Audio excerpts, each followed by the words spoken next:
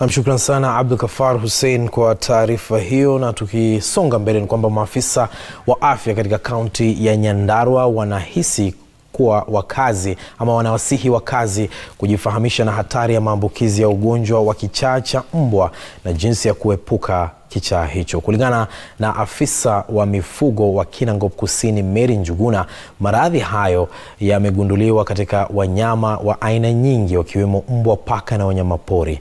Akizungumza kwenye hafla ya kuwapa chanjo paka na mbwa katika eneo hilo, Mary aliwahimiza wakazi kuripoti tabia isiyo ya kawaida kwa wanyama ili kuepuka mikasa ya kichaa cha mbwa. Kuna wanyama wengine wa pori kama umbwa mwitu na haya tunaita fox na wengine wengi. Tunaoitanga health carrier, hivi kwamba wanabeba virusi wao wenyewe hawagonjeki, lakini akiuma umbwa wa nyumbani yeye anagonjeka.